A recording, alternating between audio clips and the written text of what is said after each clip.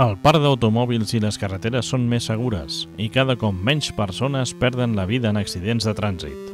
Per reduir al mínim les morts a la carretera, les empreses automobilístiques inverteixen en noves tecnologies que aviat milloraran la seguretat en els seus models. Entre les novetats que podem trobar en els futurs cotxes destaca la frenada d'emergència autònoma, un sistema que ajuda el conductor a frenar en situacions d'emergència o aturar el vehicle en cas de topada imminent. Una altra invenció és l'ajut al manteniment del carril, dissenyat per alertar el conductor i fins i tot reorientar la trajectòria d'un cotxe que surt fora del carril. El detector de cansament és un altre sistema que, gràcies a una càmera que monitoritza la cara del conductor, fa sonar una alarma en cas de detectar que ens estem adormint al volant.